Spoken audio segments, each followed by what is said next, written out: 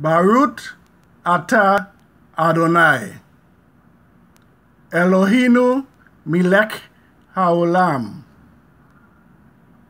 Shechehiyanu Vehiyamanu Vehigianu Lazma Hazeh. Translated, it means, Praise are you, eternal Adonai, our Elohim, ruler of the universe, who has kept us alive, sustained us, and enabled us to reach this moment.